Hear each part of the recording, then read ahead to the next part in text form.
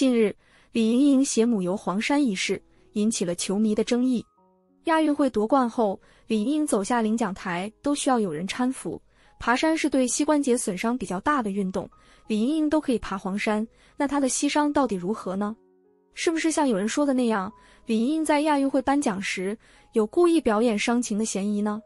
上领奖台之前，李盈莹就在采访中透露过膝伤，能上黄山应该是没有大碍。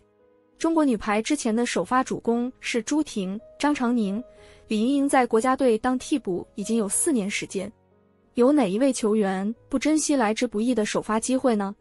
但凡身体情况允许上场，李盈莹还是要上场打比赛的，她没有必要为自己的膝伤来刻意表演什么。在亚运夺冠上领奖台之前，记者就有问到李盈莹的膝伤，李盈莹的回答是：实话实说，一直是在坚持吧。主力阵容中。没有哪一位是没有伤病的，只是伤病的程度不同而已。那么，如何来看待李盈莹的膝盖伤情呢？第一，有伤病，但并不是到了需要手术的阶段。对于排球运动员而言，膝关节遭遇伤病是很普遍的。之前，江苏女排王晨月在打排超联赛时，半月板突然卡住，腿部无法弯曲，王晨月也是被搀扶下场。不过，经过队医的治疗。半月板恢复到原有位置后，王晨月又可以重新起跳打进攻了。李盈莹能爬黄山，但当时无法下领奖台，应该与王晨月的情况类似。另外，去黄山浏览李盈莹也不可能是一步一个台阶爬上去的。如果真是膝伤严重到无法行走，那李盈莹会去浏览黄山吗？第二，比赛强度与游览风景对膝盖的要求还是不同的。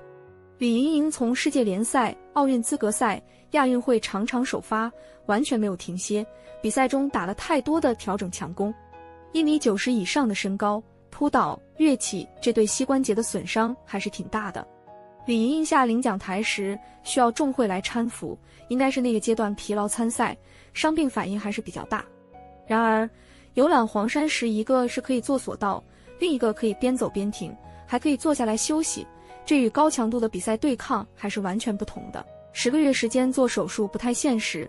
排超联赛期间，天津会给李盈莹合理安排上场时间。不管李盈的膝盖需不需要做手术，备战奥运仅有十个月左右的时间，已经来不及了。眼下也只能是保守治疗。在国家队，由于蔡斌要磨合首发阵容，还要拿奥运门票、亚运会夺冠，李盈莹没有休整的机会。不过，代表天津打联赛，李盈莹应该不会场场首发了。对李盈莹来说，明年的巴黎奥运会才是终极目标。排超联赛，天津本身就引进了瓦尔加斯这样的强力接应，另外还有袁心玥、王媛媛两大副攻，这两个点打出来已经够其他队应付的了。王艺竹、陈柏雅等人打国内联赛，应该还是够用的。联赛打到半决赛。决赛阶段，天津应该还是会派李盈莹首发上场的。李盈莹在郎平手下磨练了四年，现在已经是一位非常全面的主攻，扣球高度超过三米，轰出一百公里以上的扣球时速。李盈莹对中国女排来说还是非常重要的。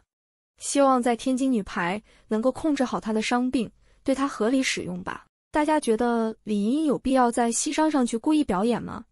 本身中国女排的训练强度就很大，李盈莹又是球队唯一的调整强攻点，这么多比赛打下来，有伤病反应不是很正常吗？我们还是要体谅一下运动员的辛苦吧。